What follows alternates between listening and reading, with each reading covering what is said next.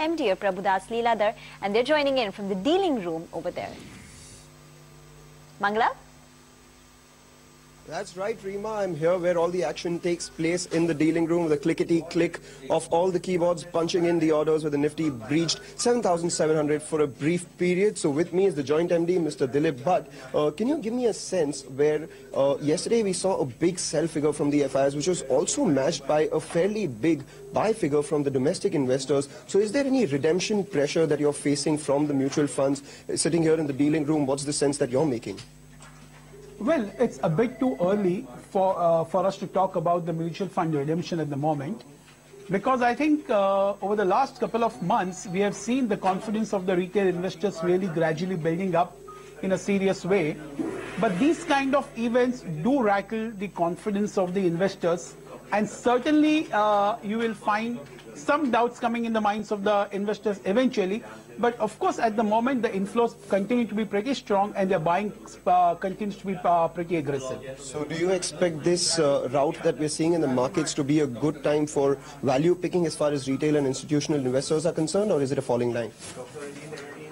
Uh, well, I think these kind of events we have seen in the uh, every year it happens a couple of times and the entire market gets routed very badly. I think uh, certainly if you look at India specific, the way the potential is for India, certainly there is not much downward scope from these levels. Certainly there is uh, a bottom over there. But when the events really happen, it's a question of the confidence, and that is where the, uh, the slipping of the index happens.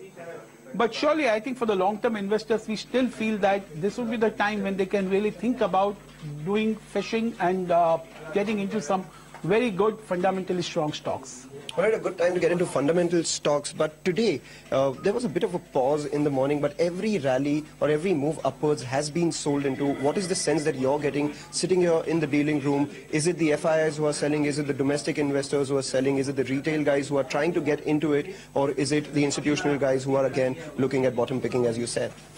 So I must say all of that, what you say is happening in, in their own bits and parts.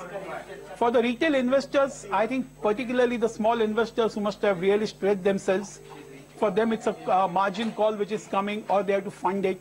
So that is where the vulnerability comes. I think as far as the uh, institutional investors are uh, concerned, they are acting in both the ways, buying as well as selling at the moment. But overall, I think uh, the sense that we are getting is the way the markets are moving, it's a question of crisis of confidence which is emerging which we feel is kind of an aberration and that this is a transient kind of a phase. All right, a transient kind of a phase. So when do you see this transient phase to maybe go fall by the wayside? Well, it's something like this, that at the moment there are international events over which nobody has a hold, much less that people are trying to understand that uh, as to what exactly is happening. Certainly, market is trying to tell us something uh, more important, that something decisive is happening in the world, and which is making uh, people nervous.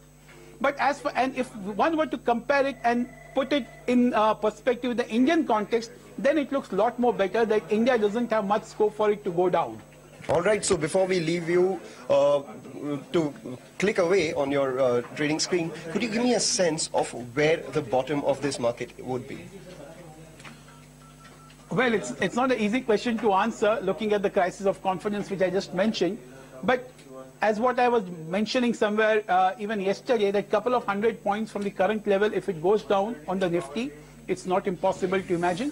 Because these are the times when uh, the panic takes over the logic and nothing else really matters. So in this panic, it's very difficult to rationalize some of the things. So a couple of hundred points down on the Nifty, yes, very much uh, can happen. But that also I would uh, think is an event to buy.